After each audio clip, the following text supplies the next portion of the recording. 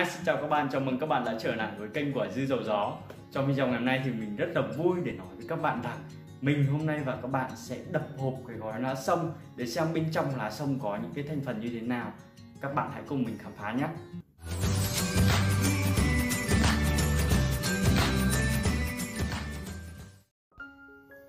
Rồi, xin chào các bạn nha Bây giờ thì chúng ta hãy bắt đầu đập hộp cái gói lá sông này để coi là bên trong gói lá sông này gồm có những gì nha các bạn. Thành phần chính được ghi trên gói lá sông là cam điệp, khuynh điệp, can khương, ngũ sắc hoa, hương mao, ngạch mễ. Ngoài ra thì bên trong còn rất là nhiều các thành phần thảo dược khác nữa. Và bây giờ chúng ta hãy cắt ra nha, xem là bên trong có những gì. Theo như mình đánh giá thì cái gói lá sông này được làm trong túi zipper nên khá là tiện lợi cho người sử dụng.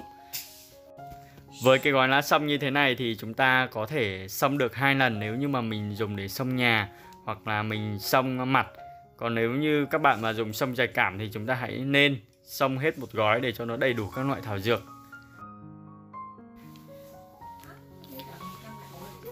Đây là lá bưởi nha các bạn, đây là lá bưởi này thì trong đông y thì lá bưởi được gọi là lá cam điệp.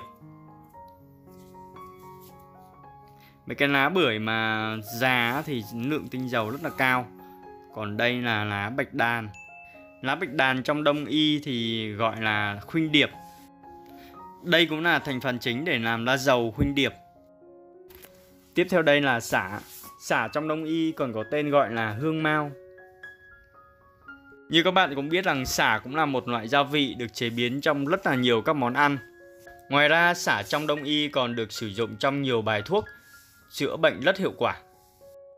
Kế đến chúng ta sẽ đến một thành phần khác, đó chính là hoa xuyến chi. Hoa xuyến chi trong đông y còn gọi là ngũ sắc hoa. Dân gian thì có tên gọi khác là cây cỏ hôi hoặc là cây trị viêm xoang. Tiếp đến không thể bỏ qua đó chính là can khương, củ gừng. Gừng thì cũng như xả được áp dụng rất là nhiều trong các món ăn trong gia đình và làm gia vị rất thơm ngon. Ngoài ra gừng còn có tác dụng rất là tuyệt vời trong đông y. Ví không khác gì nhân sâm.